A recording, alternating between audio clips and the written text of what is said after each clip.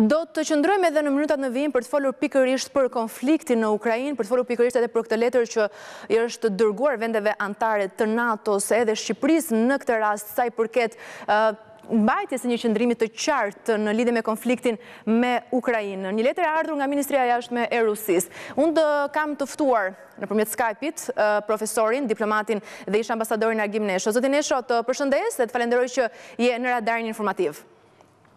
Faleminderit ju për ftesën. Dhe sikundër e thashë, ka patur një kërkesë nga Rusia në mënyrë që të shprehet dhe shumë vende anëtare të NATO-s, edhe Shqipëria, të ketë një qëndrim më të qartë, më konkret sa i përket konfliktit në Ukrainë. Pyetja e parë është, a ka detyrim në fakt Shqipëria të shprehet në këtë rast si vend i NATO-s? Sigurisht, Shqipëria duhet të mbajë një qëndrim kur gjithë vendet perëndimore janë bashkuar së bashku kundër një sulmi të mundshëm të Rusisë, e cila ka parkuar trupat e saj dhe po kërcënon hapur sovranitetin e një shteti demokratik siç është Ukraina. Në këtë kuptim, ne jemi brenda një retorike të fortë politike, që Moska kërkon në atë dualizmin e saj përballë Perëndimit dhe Shteteve të Bashkuara të Amerikës për të fituar të drejtën të ulet si një fuqi botërore. Në këtë kuptim, edhe Shqipëria, si vend i Aleancës së NATO-s, në këto momente duhet të shprehet, dhe mungesa e saj nuk e justifikon se është pjesë e Aleancës, Por është një vend sovran i cili ka mendimin e tij ndaj një çështjeje shumë të rëndësishme që ka të bëjë me perspektivën e arkitekturës të gjithë Europës dhe shmangien e një kërcënimi të mundshëm nga fuqi jo liberale revizioniste siç është Rusia. Prandaj kërkesa në Parlamentin e Shqipërisë e bërë nga doktor Berisha është sigurisht një një moment politik që shfrytëzohet nga opozita, duke treguar që qeveria shqiptare më tepër lëkundet me klientelizmin e saj se sa prodhon një politikë të qartë. Sot gjithë vendet e Perëndimit janë shprehur për këtë gjë, bile vende të cilat kanë qenë të paangazhuara me NATO-n si Suedia, Finlanda, janë bashkuar në bisedime për të qenë sa më afër Perëndimit dhe mundësinë e hyrjes së tyre në NATO.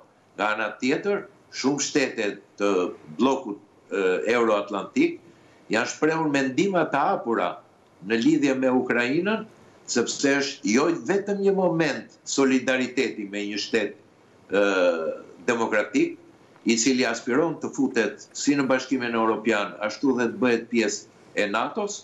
por përkrahja e Ukrainës ka të bëjmë me vlerat kryesore, principet dhe vlerat perëndimore dhe vlerat e shoqërisë tonë. Prandaj nuk është vetëm një detyrim moral, por dhe një angazhim për atë sistem të cilët ne jemi pjesë e tij.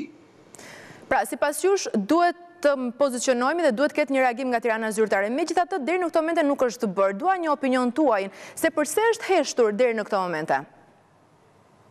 Unë e thashë dhe më përpara që në përgjithësi ne kemi parë që Shqipëria në këto momente, sidomos gjatë viteve të fundit, nuk ka patur një politikë të jashtme aktive, është lëkundur në politikat e jashtme të shteteve të cilat kanë qenë ose fuqi rajonale ose fuqi të mëdha botërore, duke iu përshtatur atyre me klientelizme, duket që qeveria shqiptare është më tepër e angazhuar në problemet e saj të brendshme dhe kërkon t'i kalojë këto me klientelizmin ose shërbimin e fuqive të mëdha, pa patur një bosh të politikës jashtme, jo vetëm për çështjet kryesore ndërkombëtare, të sigurisë europiane, por edhe të çështjes tonë kombëtare.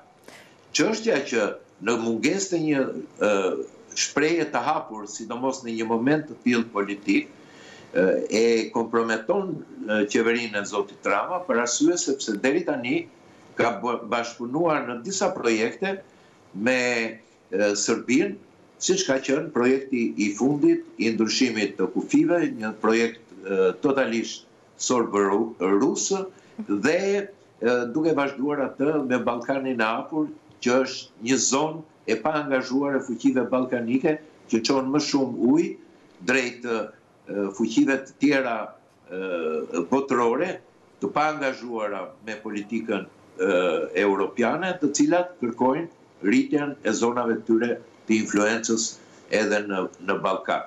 Në këtë kuptim, Shqipëria duhet të bëjë një hap të tillë, t'iu bashkohet gjithë vendeve të tjera, të mos justifikohet që ne jemi pjesë e NATO-s dhe bëjmë si thonë ata, por të jetë shumë e qartë, për arsye sepse kjo qartëson edhe politikën tonë të jashtme dhe angazhimin tonë korrekt ndaj çështjeve kryesore të zhvillimeve botërore. E qartë. Ndërkohë, zoti Nesho, konflikti në Ukrainë në fakt nuk lindi sot. Është një konflikt që ka vite që ekziston në Ukrainë. Pyetja është se përse pikërisht në këto momente erdhi kjo situatë kaq e tensionuar? Erdhi për disa arsye, e para ishte që Rusia kërkon të rrisi rolin e saj si një fuqi botërore, së dyti ishte në momentet e krizës që Perëndimi kishte, sidomos në menaxhimin taktik të kthimit të trupave të aleatëve dhe të Shteteve të Bashkuara të Amerikës nga Afganistani, u perceptua nga Rusia si një moment dobësie, sidomos deklaratat e udhëheqësve perëndimorë që neve nuk do të angazhohemi në luftra në vende të tjera.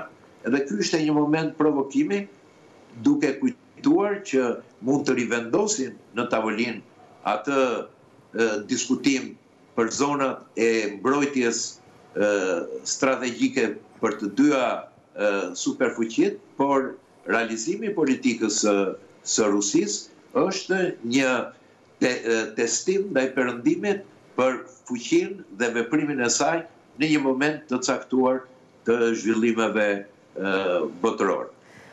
A rrezikohet realisht një konflikt i armatosur, zoti Nesho?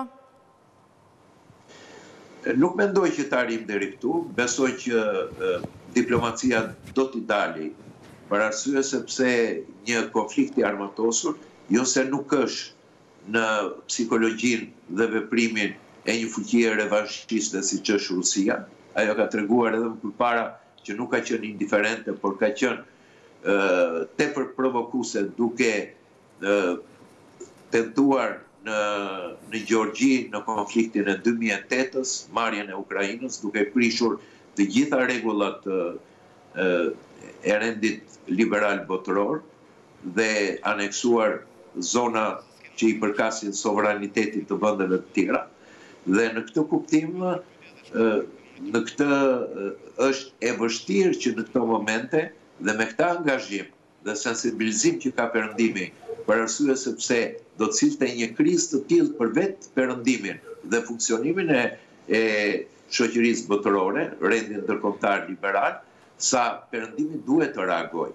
Prandaj kjo rrit kostot për Rusinë dhe mendoj që pavarësisht se dëshëron të bëjë një hap të tillë, të aneksojë, në fund të fundit do të detyrohet nga kostot, nga mospërballimi se nuk është më një fuqi e madhe botërore si ish Bashkimi Sovjetik, nga pikëpamjet e zhvillimit ekonomik dhe financiar, që të ulet në tryezën e bisedimeve. Sigurisht luan një bllof, force, kërkon të rivendosi staturën e një superfuqie botërore dhe në pamundësi do të përpiqet që të gjejë të gjitha shtigjet për të arritur një kompromis me Perëndimin, por gjithmonë duke pretenduar që do të marrë diçka më shumë nga NATO-a edhe nga Bashkuar të Amerikës. Zoti Nesho, edhe një pyetje të fundit të lutem. Shtetet e Bashkuara të Amerikës dhe Bashkimi Europian flasin për sanksione ndaj Rusisë.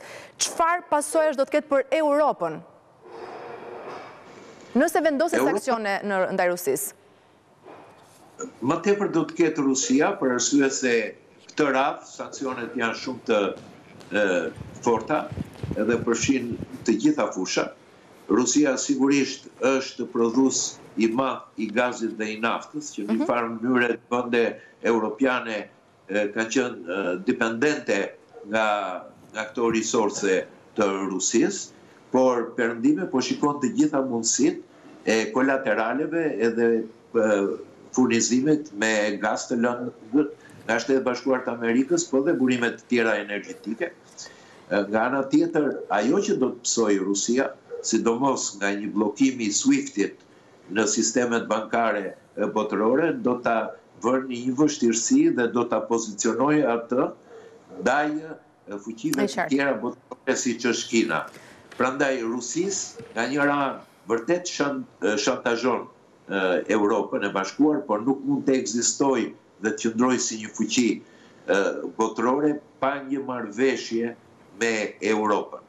Në këtë kuptim, ky është ekuacioni që do shmangi konfliktin ushtarak dhe nuk do të kthejë Europën në një fushë beteje të madhe. E qartë.